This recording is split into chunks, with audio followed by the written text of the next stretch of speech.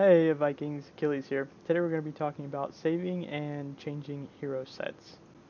This is a pretty basic topic, so if you've been playing the game for a while, you can kind of just skip this video. But this video was requested a few times, and I did run into this question uh, pretty frequently right after I started on this new server. So let's take a look. Okay, so we have a hero, and we have some gear sets here. So your current set, this is I think the main confusing thing, your current set of gear isn't one of these. Even if you have one of those activated, resetting your current skills doesn't change any of your actual saves. So I think I'm on the learning set right now. Yeah, because I can't activate or replace because it's exactly the same. Um, so if I reset my skills, now suddenly I can activate this or replace it. But if you notice, um, this is actually the same set that it was before, so it didn't change anything there. So obviously to activate a set, you can just hit activate there. So we'll activate the PvP one. Now if I want to change this one, so let's say I'm going to go ahead and I don't, I don't really know what I had with this.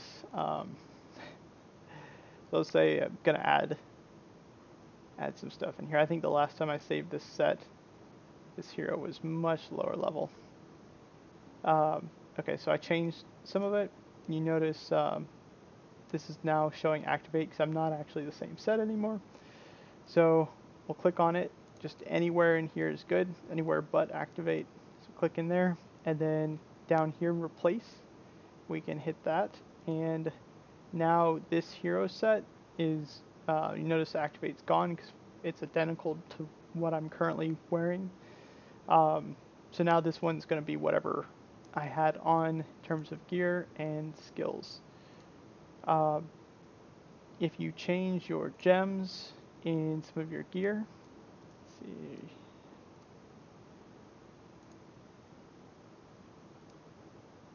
What I'm currently wearing. Okay, so I'm wearing these boots. If you change your gems, so we'll remove that, just crush it. And then we go back to the hero sets. It shows this little um,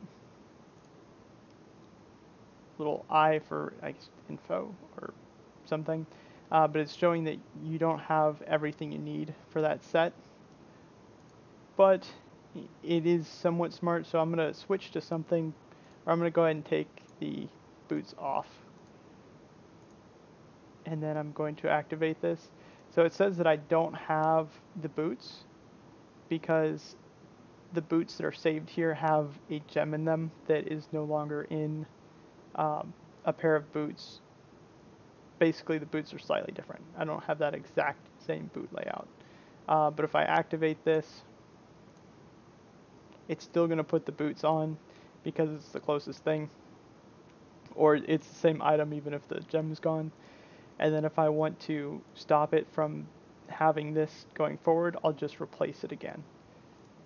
So now it recognizes that the boot should not have that gem in it anymore.